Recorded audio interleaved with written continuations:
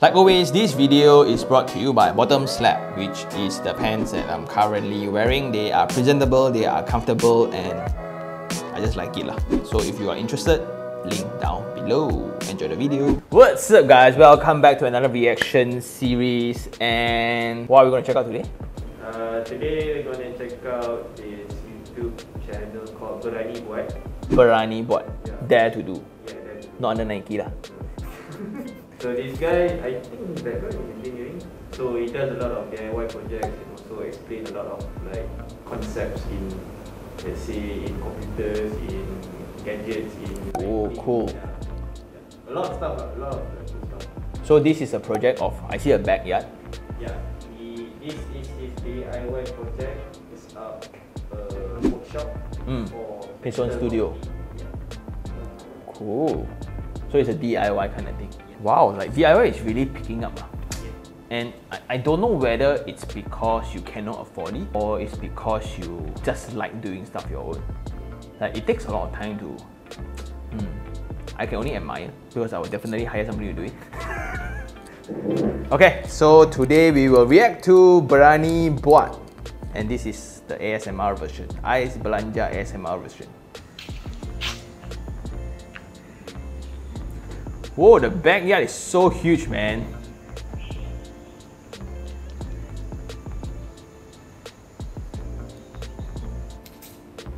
Okay, so this is very obvious, a corner lot. And why corner lots exist is because it's at the end of a junction and there's a restriction to how many houses you can build together. So if you have like uh, two rows or three rows of the house, sometimes you see that eh, why the center portion of the end lots are not in the center of the row. So there's a fire requirements between like if a house catch fire, there's only a minimum that will catch together. So you cannot go too long. Then why corner lots shape are very weird because it's in accordance to the road. So the road is determined by the form of the land. If the land's form is okay, if it's a squarish one, then you can be really efficient, meaning every house get a very squarish one. But then if you have this one, right, so the some corner lots is, are like this where the empty land is way bigger than the house itself. So you got weird things and a lot of people associate feng shui with it. Do you want the front more bigger to the back, but means that your wallet is, you cannot store as much money. Then the others like, oh, my front is more narrow than my back. So it means that that I cannot earn as much as I save all those are just saying, right? Because like what Dato Joey Yap say in the Chinese New Year episode, right? The land does not know what shape it is one. So it's so it's really like how is that direction or how you manifest the form of the building to your own destiny or chart. But sometimes, right, it's just to me, it's the shape of the land. If it's a triangle and there's a edge at the end, right? And you open the door, every time you look at the edge, then it's, it's a sore time and it, it just creates distraction from you every single day. Like you open your door, right? Right in front is a lamppost. Of course you don't like it, ma. Then every morning, yeah, yeah, yeah. Then you start the day feeling frustrated, right? That's the whole thing. Like open the view, wow, let's work harder, let's work harder. Then the, your entire feng shui, that's feng shui for me. ah. Okay, now I, I see some 掌柜.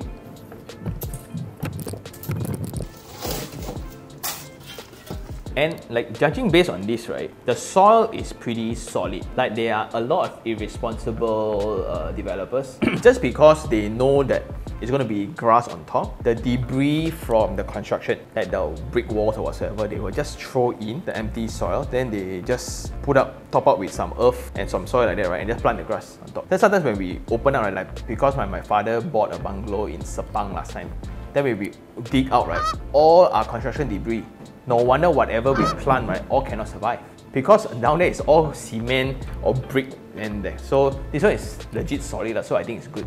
But it's only like a 10 tm kind of surface only. Because like this also costs money. Mm.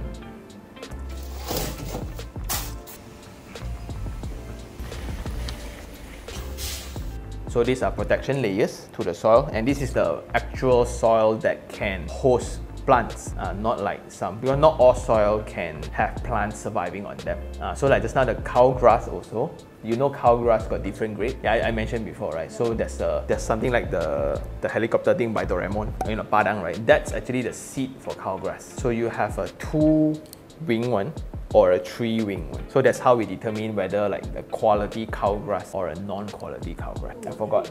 I forgot which one is better. Mr. Editor. Then, uh, so like how you plant cow grass, because they come in patches in bricks. So like, how do you plant? I think they will show later. Lah. Those are bricks obviously, but there are cement sand bricks and they are clay bricks. They are also facing bricks. So they are different grades of bricks depending on what you want to use them for, okay? Last time it was all solid clay bricks because walls were load bearing. You don't have columns and beams. So the brick wall are actually built to withstand load and hold the building.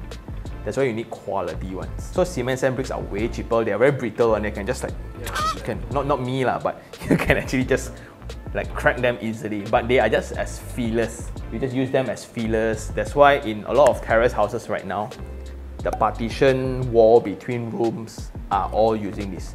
But only the brick wall between units needs to be the solid one. Mm. Then facing bricks are the red bricks that are used for facade those need to look very nice. So if those are burnt or baked in a better red, then those looks way nicer. Like all those old buildings, like in KL back and all those, right?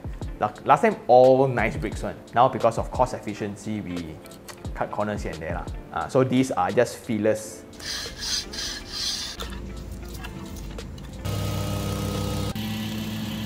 That is a compactor. So you have that thing and it just vibrate over.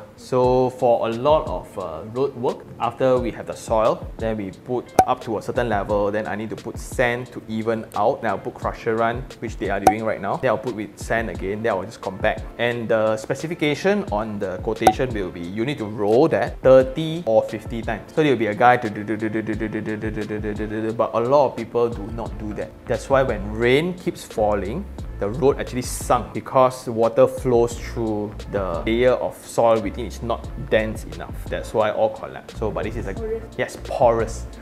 Technicalnya.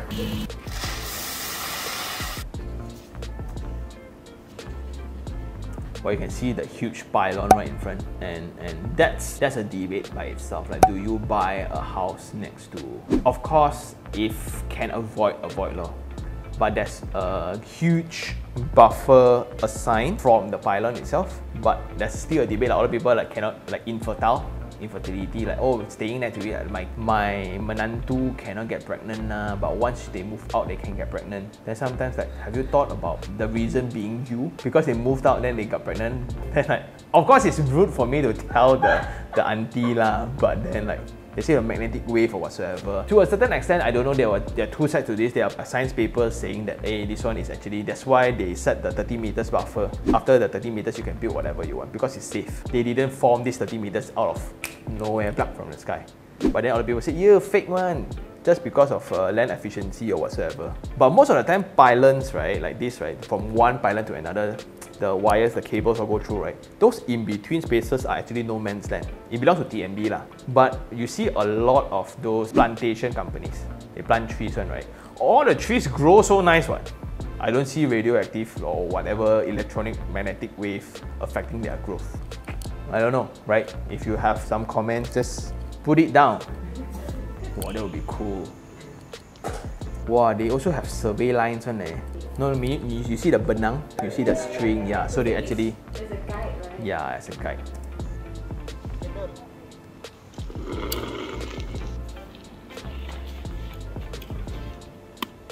Aya, why they use artificial turfings? Ah?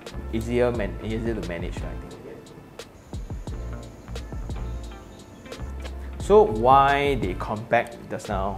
Why they need to even out, right? Because what you don't want is stagnant water again just like the roof technology that we talk about. Because once you have a place that is sunken, the water or yeah, so like in artificial uh, turfings, right? Although it's covered and all, you see the extra layer just to man manage water or whatsoever. Sometimes weeds still grow and come through the thing. That's happening in my house right now. Yeah, you, that's why they uh, that's why they try to eliminate all the chances of them growing out.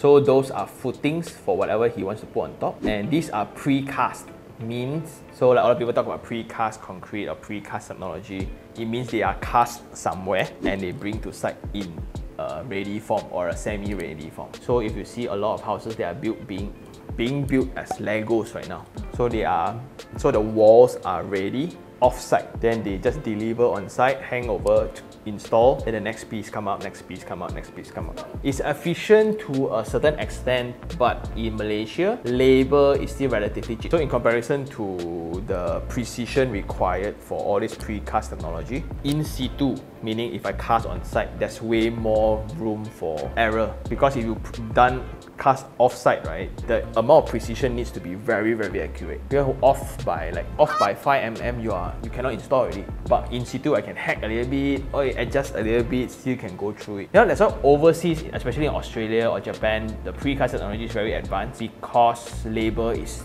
very expensive. Malaysia is still relatively cheap. That's why we don't see a lot of adoption of this kind of technology.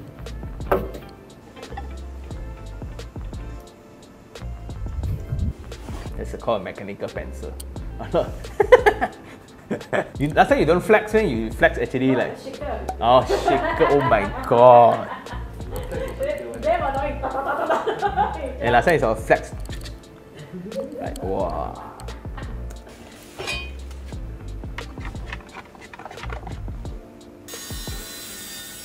His YouTube channel is all about building stuff, is it? It's legit where his tools. Wow, you see, oh my god.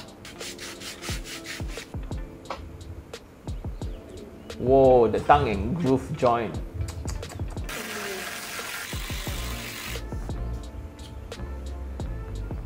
Wow, you can hear the birds.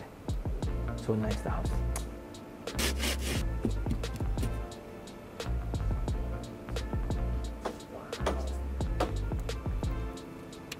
Wow, talking about skill sets, man.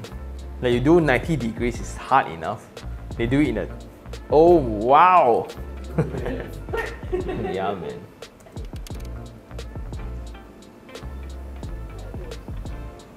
Uh, glue, yeah. That's the finishes, vanish, varnish.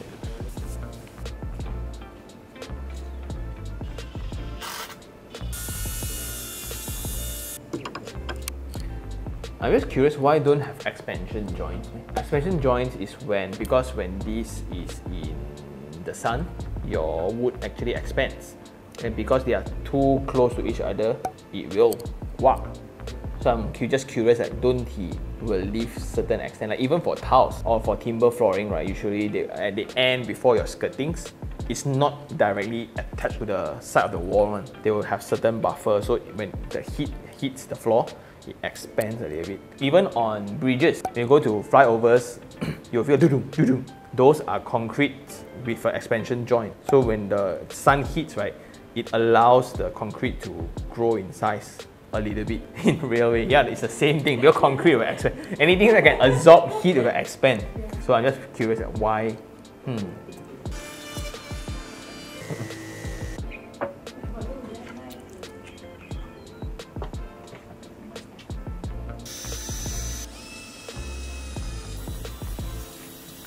I think if I were to do this, right, just to get the tools itself, I already give up already.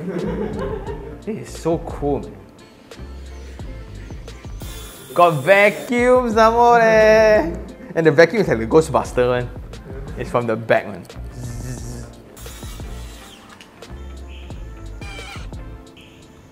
I think he's building the upper platform or the wall.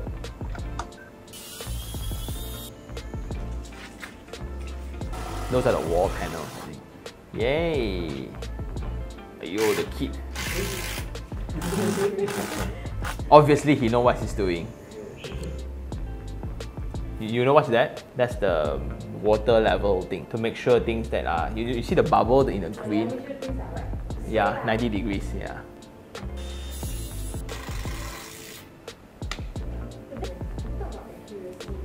Yep. Yeah. But it depends on which area. But like why precast again, going back to that, maybe like a 5mm you are way off because it's about percentage. Like sometimes that area is for you to go in. Of course there will be plus minus like 0.1 or 0.2, right?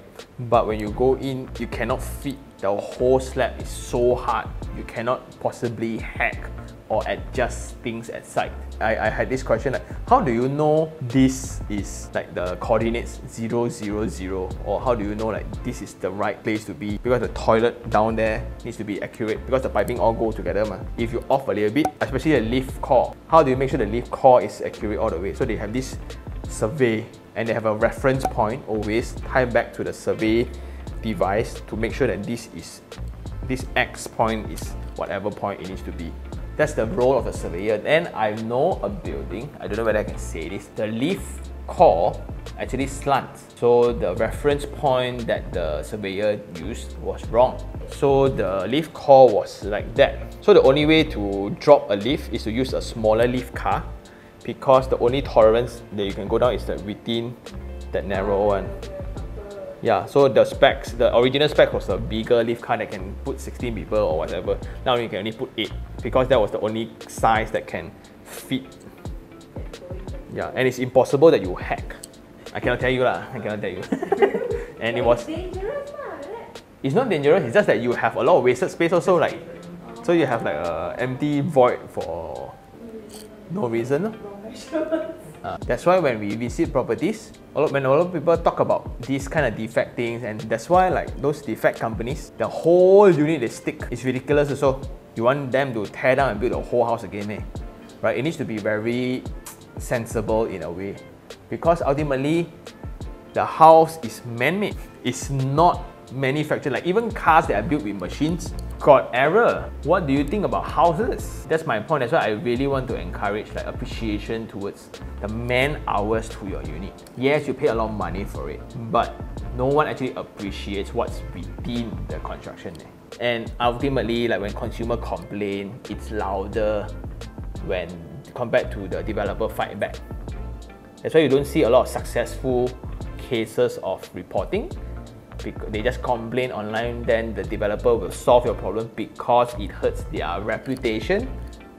Not exactly you are correct. Uh, that's very unfortunate in our current climate of consumerism. Lah. That's why a lot of this uh, kampong method of testing things also not right. Man. Hollow, hack the whole thing. Hollow, hack the whole thing. Actually, hollow in a in a tile flooring there's also like percentage. So this all these things need to be taken into account lah.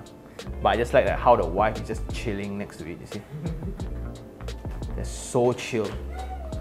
This looks like Bandar Sri Sendayan though. Not sure.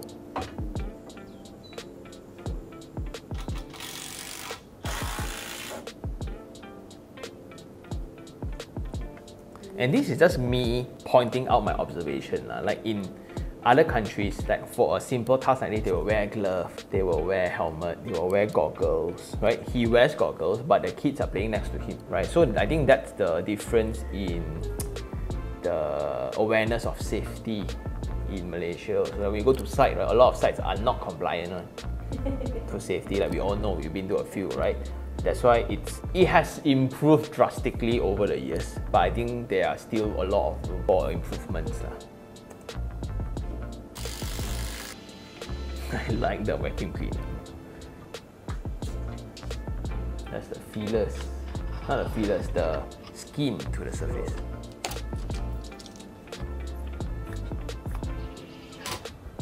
Wow!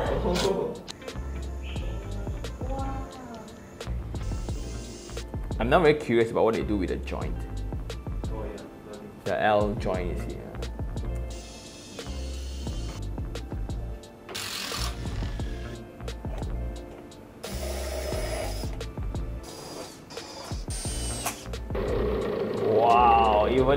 Even. I think that's the roof. The, this, so these are the roof trusses.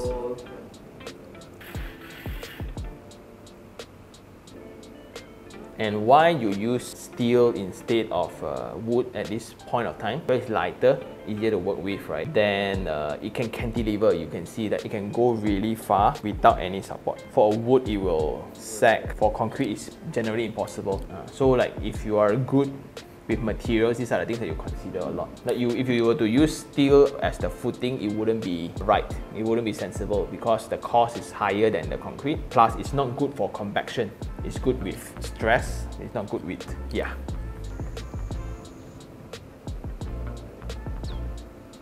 You know what's those?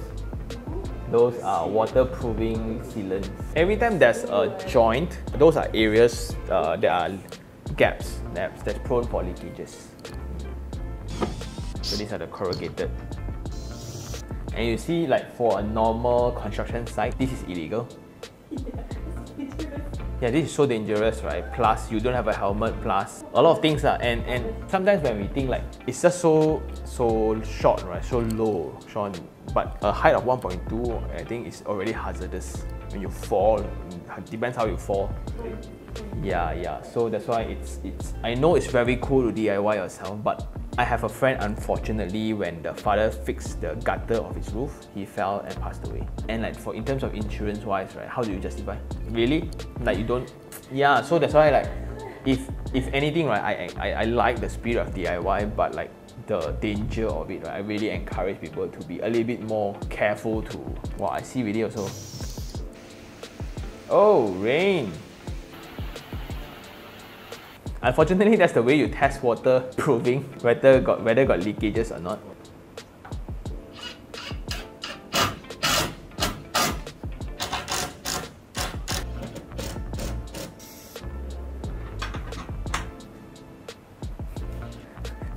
That's the very old locking mechanism in all houses, right? This is so satisfying to look, man.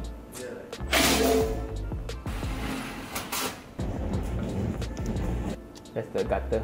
And, and this is how plastics stick. Yeah, so like you see all the water pipings that they join, or there's this special gum. And the gum, right, is somewhat like melting part of the surface of the plastic so it can attach to each other.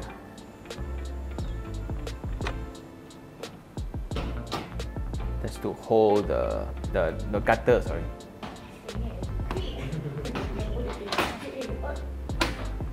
And it's meant to be a little bit sengit. So you need to direct the water to the outlet. Yeah. So he's harvesting the rainwater also. You know, sometimes you like, when I got into the construction industry, that's all. You guys use just gum. That was my first reaction also. But because now they have rubber parts to the piping, so because it can cater to more vibration. Like because when vibration happens, the joint tend to loosen up over time. So these are always the leakage prone areas lah. You know what's that for? And there's a overflow pipe. So when the water is exceeded, right, you see exceeded the top level, so it flows out. Then you know like oh, it's overflow, it's full. Like uh, it is the same with our house. So sometimes if the stopper actually malfunction, water starts leaking through because the inlet keeps detecting that the pump is not full, the water keeps going through. So it's I think most of us who stays high rise no longer know what tang water tank looks like, but it's pretty cool one, but it's dirty, very dirty, yeah. He has a plastic gutter, he has a wood gutter, he has a metal gutter.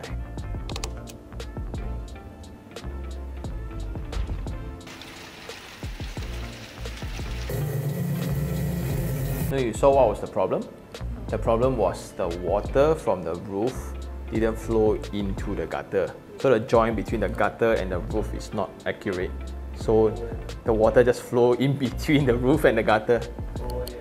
Ah.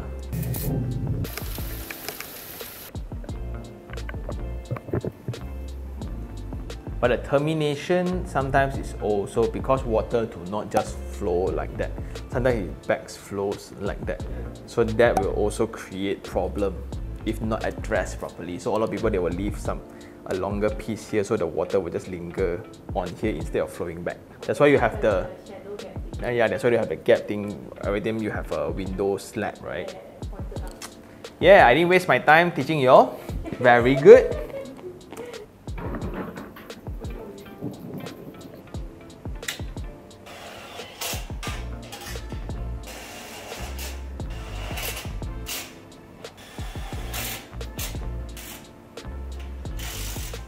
That's a partition wall.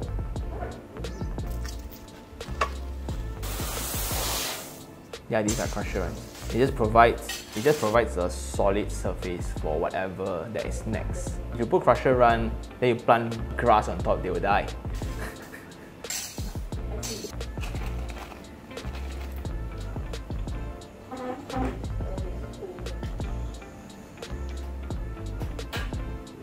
Wow, I am impressed.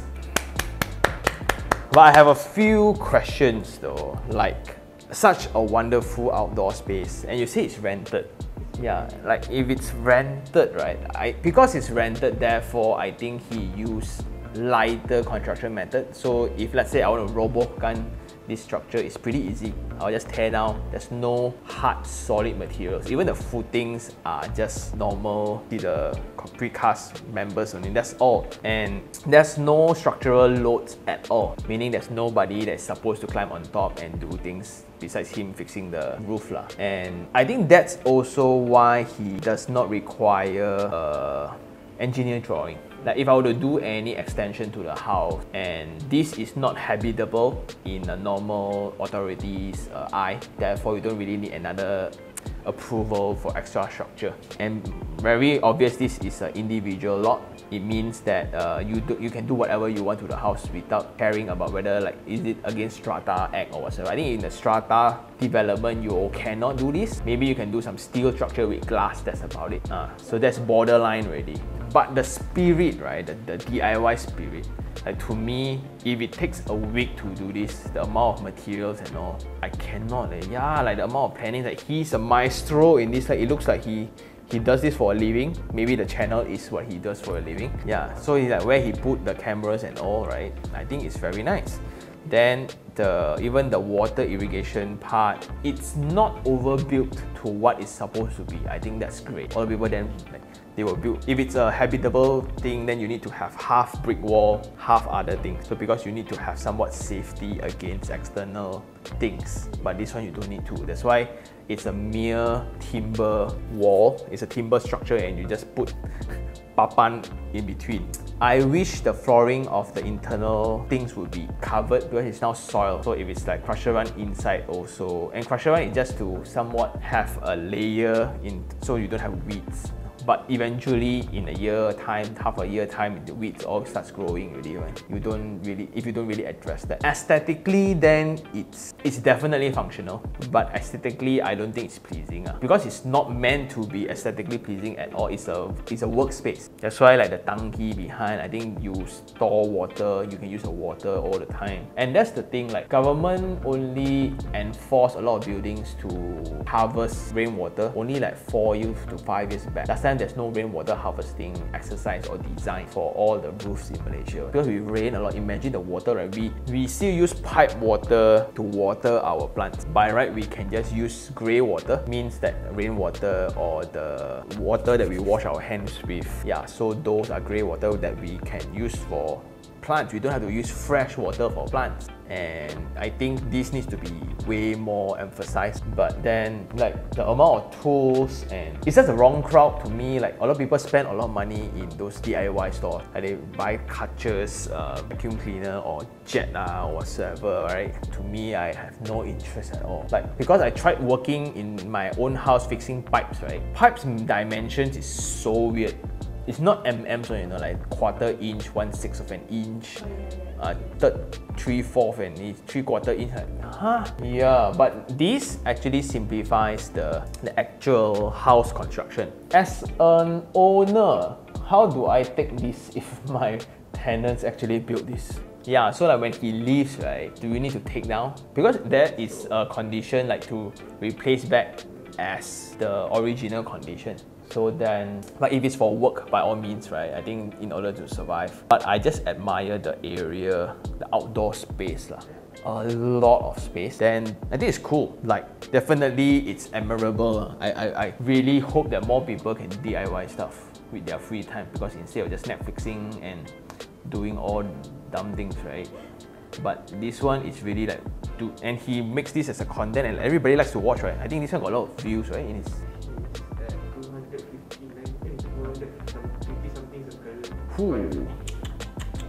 And, and one more thing will be the electrical connection. I think that's that. I think that's uh, getting out from the house. I think so. How do you pull out? Is it from a socket to extension in again? Then how do you protect it from moistures and this and that? So he didn't elaborate that. Then because the roof, the upper the upper structure of the enclosed space is actually exposed. So there's a direct connection from you see the roof right directly into the column. Uh, then you can see some wirings here and there. I, okay, I know how things should be done. But you pass me all this material, I don't know how to build anything. lah. I can't even make a straight wall, right? So, Which is regulations are. um, regulations are in place only if the space is habitable. So it's to ensure like wirings cannot pull from the bottom, it needs to be from the top. But when a lot of irresponsible contractors, in order to save more cost, because your wires and sockets are usually at the bottom, they just pull from the bottom, it's cheaper. But it's supposedly to go up the wall and to come. Yeah, so there's a that's a regulation for wirings. one. Yeah, so like or even like pipings in walls. Sometimes when you see in the toilet, like why I am very fearful of renovation around bathrooms is you don't know where the pipings are.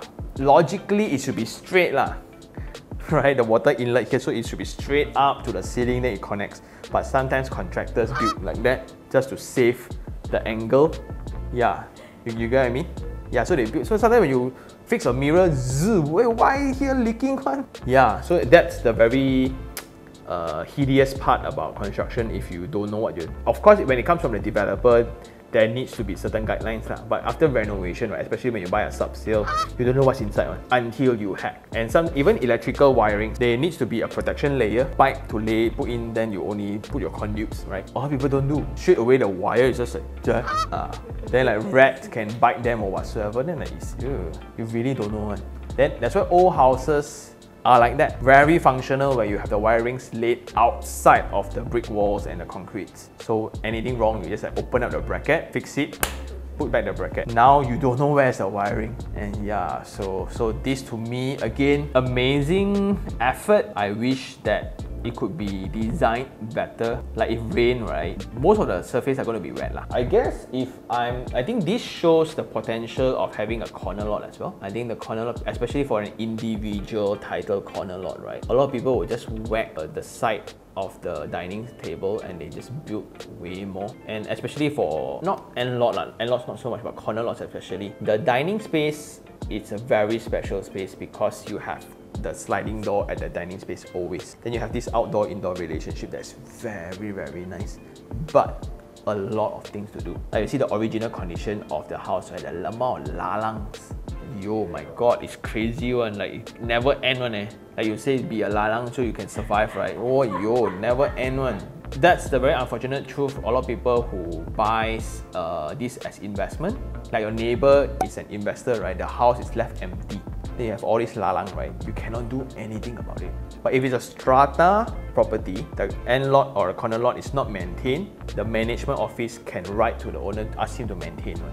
Or we cut for you, then we charge you money because it's disrupting the living of your neighbors. Mm, so strata one. So it's uh, yeah. so that's this benefit. Like, but I'm very curious on like what else does he do in the channel. So I think we'll just put the channel down below. And I guess this is this is the thing that's missing in our current scene right now. Everything we pursue like fast, effective, right? but there's no more craftsmanship. There's no more DIY be redo. I appreciate handcraft craftsmanship, but I, I my craftsmanship is in the video that we make. That's the best, right? If not, it's like I can I draw drawings that can do this better. But if for a normal thing like I can't man.